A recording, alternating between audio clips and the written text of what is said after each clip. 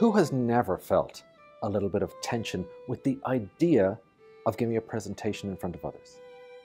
Who's never felt a little nervous before they walk on stage? Or apprehension because they have to speak at a staff meeting?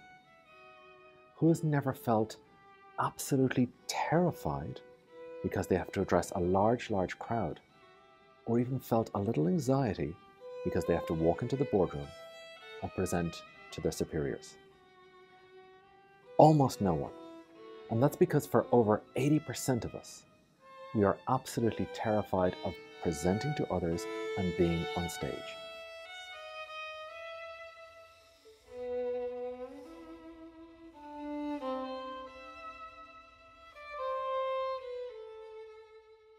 If you breathe, you take control of the moment and everything around you slows down. I had this wonderful tennis coach that I was working on the mental side of the game, and he had been consulting with high performance athletes and coaches in many sports from the PGA Tour to the NFL. And his thing was when you make contact, you exhale.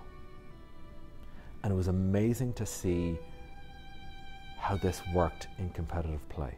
Because when I did it, everything around me slowed down and I had so much more control of the moment.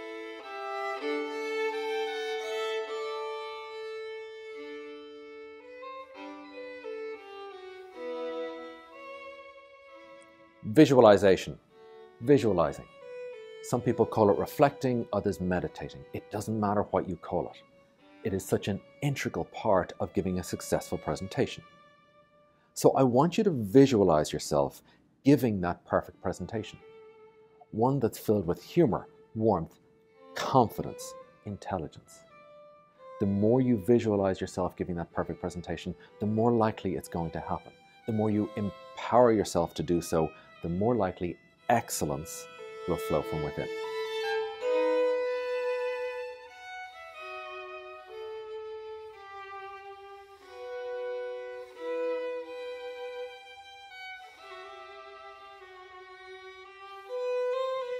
You can never be overprepared, but you can be underprepared.